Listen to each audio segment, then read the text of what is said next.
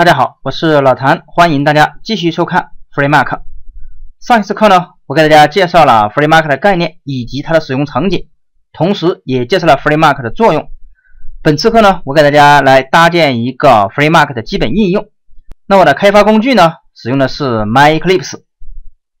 因为在后边咱们的学习里边呢，会涉及到在 Web 的开发环境下边如何使用 FreeMark。当然，我们当前所建的项目呢，使用一个纯的 Java 项目就可以了。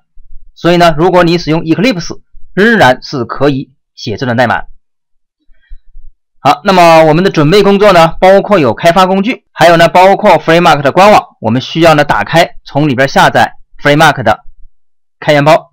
那么网址呢是 freemark 点 org，这边呢有几个下载的菜单，大家可以看到，首先第一个呢是 freemark，那么点进去之后呢，我们可以找到相应的版本。当然，在这个首页上面呢也有一些超链接，大家可以点进去看一下。那么第二个呢是可以下载一个中文版的手册，这个是针对的2.3.19这个版本的。好，但是大部分内容当然还是可以参考的。除此之外呢，还有一些编辑器或者 IDE 的插件另外呢，还有文件产生工具，以及呢 FTL 的库，这个呢可以用于 FreeMark 的模板。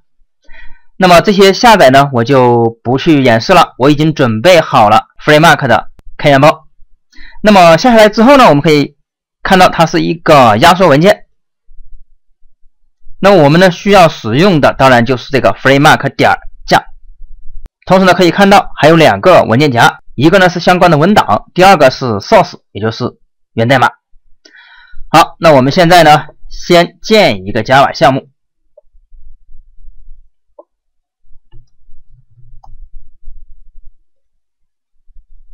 这个 Java 项目呢，我就取名叫 FreeMark。这里配置的 JRE 呢，我们使用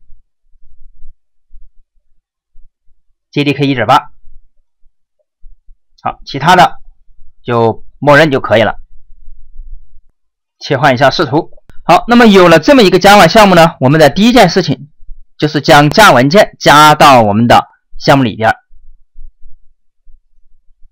那我这儿呢，专门建一个 label，一个空文件夹，将 FreeMark 的加文件 copy 过来，右键。好，有了这几步操作呢，我们的 Java 项目里边呢就可以使用 FreeMark。换句话来说呢，FreeMark 它就是这么去安装的。那接下来我们就要来写一段 Java 代码，以及呢准备一个模板文件，让 Java 代码呢能够将数据和模板文件合起来，形成一个独立的静态页面。当然，这个输出呢不仅仅是一个静态页面，也可以是其他的格式。包括纯文本，包括 XML，甚至呢还能产生 Java 的源代码。好，这都是 FreeMark 的一些应用。那现在呢，我们就使用一个普通的页面来演示一下 FreeMark 的基本使用。首先呢，我们先准备一个模板文件。好，这个模板文件呢，我就放在 src 里边，我专门建一个文件夹。叫 FTL，然后在这个里边呢，我们可以先建一个文件。由于这个文件呢，它是一个模板，那我们呢使用的后缀呢，就可以使用 FreeMark 推荐的 FTL。比如说，这是我的一个基础的例子。好，在这个里边呢，我们就可以写相应的 HTML 标签了。那么，如果我们这么写呢？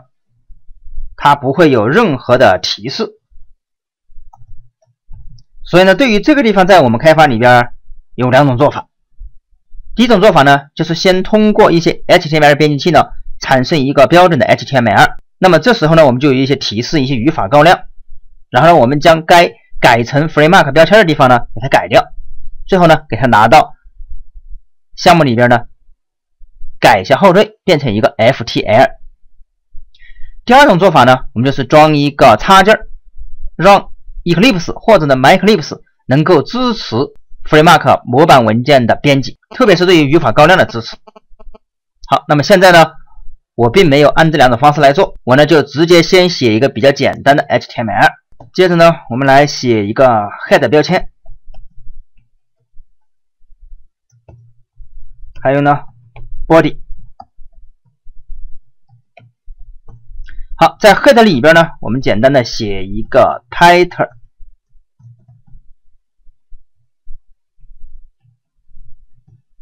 中间呢我们写上一句。我的 FreeMark 页面玻璃里边呢，我们暂时先空起来。我们等会儿呢再来看一下 FreeMark 模板里边该怎么样使用一些语法来得到一些动态的数据。那么现在呢，我们使用的是一个基本的 HTML，我们也可以考虑使用 HTML5 的这种写法，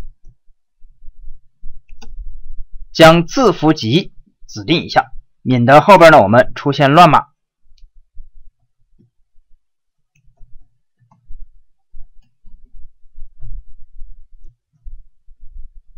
好，那么这样一个基本的页面就写好了。虽然我们把它当成了一个模板，但是呢，还没有任何的语法能够支持获取动态数据。接下来，我们呢准备写 Java 代码。我呢先来把包准备好。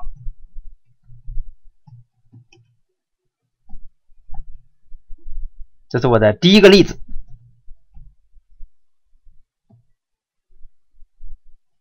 再一个主方法，好，在这一个主方法里边呢，我们就需要使用 FreeMark 提供的 API 把数据准备好，接着呢，还需要把数据跟刚才我们写好的模板文件关联上，这样的话就能由模板文件和数据呢一起来产生一个新的页面。我们来看一下该怎么写。首先呢，在这一个例子里边呢，我们要使用到两个非常核心的类，一个叫 configuration，这个主要是来读取模板文件的；第二个类呢叫 template，表示模板。那我们先来看如何通过 configuration 呢来读取模板文件，最终呢产生一个模板。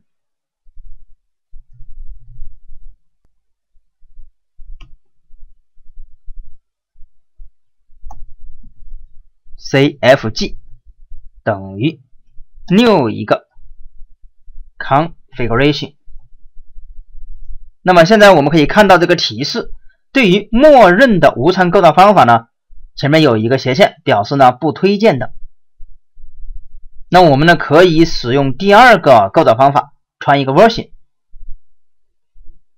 那么传一个版本进去呢就可以了。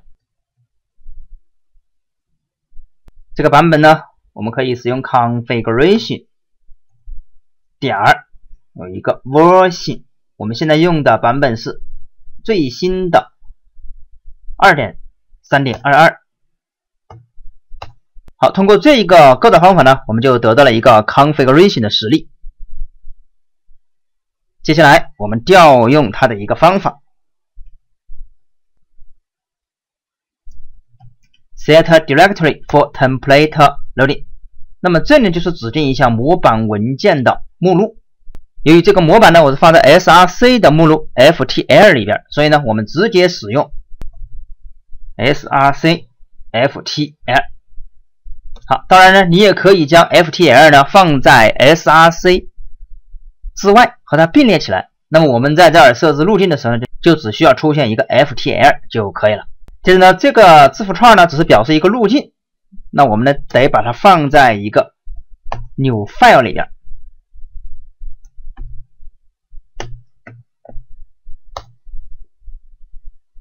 接着，我们再来将异常处理一下。好，通过这一句话呢，我们就能够让 FreeMark 从这个目录下边呢获取到模板文件。接着，我们得到一个 template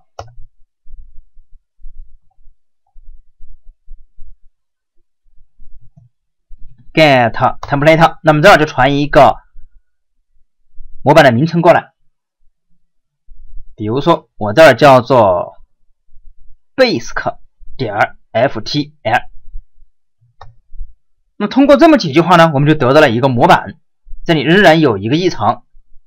那我们呢，简单一点，我们都放在 try 块里边。那么有了模板之后呢，我们下一步就要准备数据了。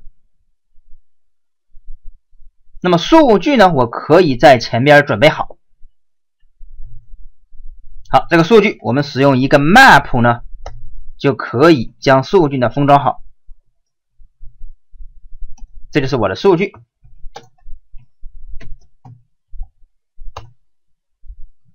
接着我就给它 put 一下，比如说我这叫 user name，这个值呢老谭。接着数据呢，我现在是放在。map 里边，这是没有问题的。对于 FreeMark 来说呢，它是支持这种数据结构的。那么对于后边的还有一些其他的数据结构，我们呢还会在后边给大家介绍。那么由于这是我们的第一个例子，大家呢先按照我的方式呢将 FreeMark 运行起来再说。那么有了数据，有了模板，那我们下一步呢就比较关键了。下一步我们就要将一个产生的文件设置好。我们的模板有了，数据有了，我们想产生为怎么样一个文件？我们可以用一个 write，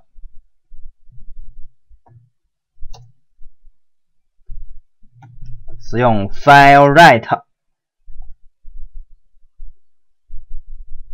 这边我就利用一个 new file，在这个 new file 的构造方法里边呢，我们就指定我们需要产生的文件。比如说，我就叫 basic 点 html。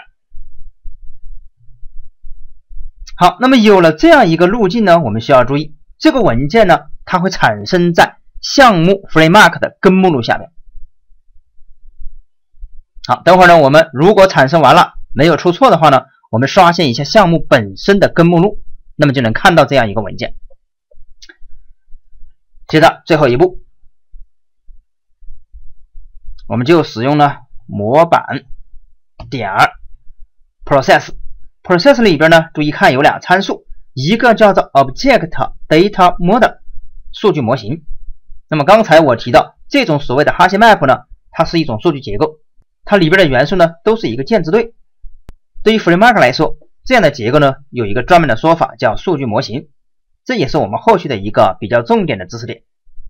那么第二个参数当然就是我们准备好的输出。最后呢，我们可以用一个 write 点 flash 将里边的数据呢从缓冲里边清空。好，这里呢还有一个异常是 template exception，我们呢简单一点，直接处理所有的异常就可以了。好，那么通过这一段的编写呢，我们 Java 代码呢做的事情呢已经非常的明确了。它要做这么几件事情：第一件事情，它要准备数据；第二件事情，它需要呢获得模板；第三件事情，需要呢通过 process 方法将模板和数据呢一起来产生一个静态页面。那么这个静态页面呢，它是动态产生的，数据呢当然也是动态产生的。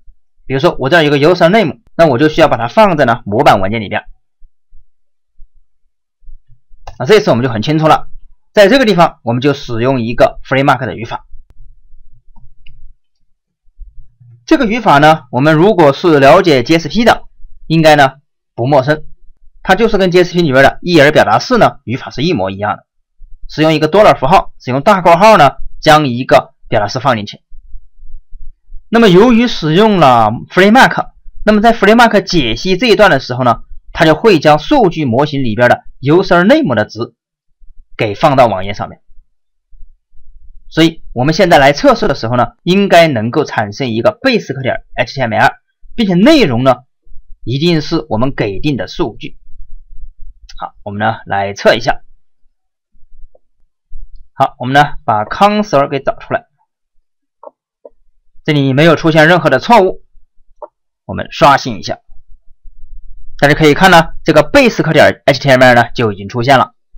我们双击一下，通过 m y c l i p s 提供的浏览器呢，帮我们打开，而且呢也能看到相应的页面源代码。